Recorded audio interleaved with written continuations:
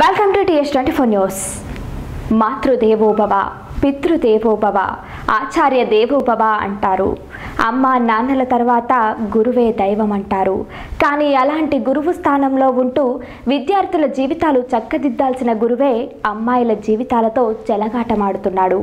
అగ్ని సాక్షిగా కట్టిన తాలిని ఎగతాళి చేస్తూ ఒకరి తర్వాత ఒకరిని మూడు పెళ్ళిళ్ళు చేసుకున్నాడు ఈ బడిపంతులు. విద్యార్థులను భావి భారత పౌరులుగా తీర్చిదిద్దాల్సిన ఉపాధ్యాయుడు అమ్మాయిల జీవితాలతో ఆటలాడుకుంటున్నాడు. కట్నం కోసం ఆడవాళ్ళ జీవితాలతో చెలగాటమాడుతూ క్రమశిక్షణ తప్పాడు. అగ్ని సాక్షిగా కట్టిన తాలిని ఎగతాళి చేస్తూ ముగ్గురు మెడలో మూడు ముళ్ళు వేశాడు. ఇక రెండో భార్య దిశ పోలీసులకు ఆశ్రయించడంతో బడిపంతులు భాగోతం బయటపడింది.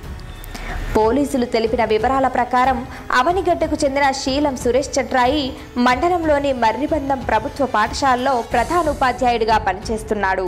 రెండు వేల పదకొండులో శాంతిప్రియ అనే యువతిని వివాహం చేసుకున్నాడు. అదనపు కట్నం తేలేదని ఆమెను వదిలేసి మొదటి పెళ్ళి గురించి చెప్పకుండా రెండు వేల పదిహేనులో శైలజ అనే యువతిని రెండో వివాహం చేసుకున్నాడు. కట్నం కింద నాలుగు లక్షల రూపాయలు పది తులాల బంగారం తీసుకున్నాడు. ఆడపిల్లకు జన్మనిచ్చిందని శైలజతో తెగతింపులు చేసుకుని రెండు వేల పంతొమ్మిదిలో అనూష అనే ఉపాధ్యాయుణ్ణి రహస్యంగా మూడో వివాహం చేసుకున్నాడు. ఈ విషయం తెలిసి నిలదీసిన భార్య శైలజనకు దాడి చేశాడు. ఇక సురేష్ నయవంచనపై జిల్లా విద్యాశాఖ అధికారితో పాటు దిశ పోలీసులకు బాధితురాలు ఫిర్యాదు చేశారు. సురేష్పై శాఖపరమైన చర్యలు తీసుకోవాలని డిమాండ్ చేశారు. మూడు పెళ్ళిళ్ళకు సహకరించిన సురేష్ తల్లిదండ్రులు అన్నయ్యపై చర్యలు తీసుకోవాలని విజయవాడలో దిశ పోలీసులకు ఫిర్యాదు చేశారు.